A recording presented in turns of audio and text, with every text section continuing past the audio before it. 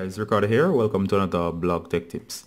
And of course guys, today we're going to look at how to do a hard reset using the physical buttons on your device to reset the Acer Iconia 17B1730. And as you can see here, this is the device. You can also notice it based on the way it looks. So you can see the camera here. You can also see the Acer logo down here.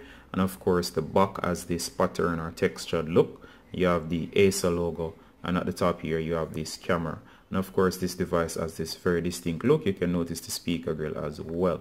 So guys we're gonna go ahead and actually try to boot this device into Android recovery. And this is great in cases where you're stuck in a boot loop or you just want to reset your device or you do not have access to the physical interface. So we're going to start off by trying this. So right here at the side you can see the physical buttons we have the power as long as the volume up and down. So what i'm going to do guys i'm just going to hold on power and volume up and we're just going to hold. And of course as soon as we see the Acer logo we're let go of power and keep holding up. And there you go guys. We're in android recovery right now. And as you can see the android guy and his back right here.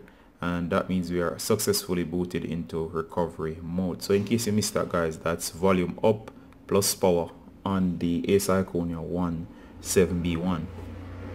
Alright, now that we're in the mode guys, so what I want to do next is know how to navigate. So to navigate, basically use volume up and down to move through the on-screen menus, which you can see here. So let's move through. So therefore, I'm just going to go down.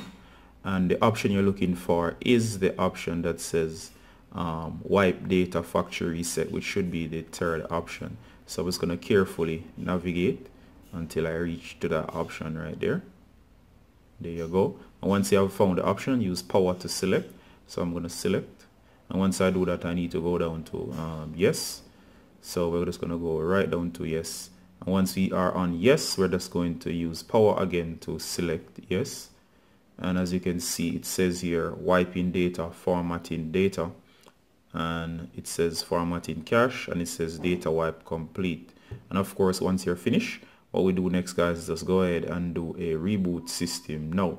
And that should conclude the wiping or the factory reset of the Acer Iconia 17B1730 and of course guys if you have any other questions please ask below in the comments it's from Gardener from Blog Tech Tips showing you how to reset this 7 inch tablet alright guys Ricardo saying bye. Until next time. Bye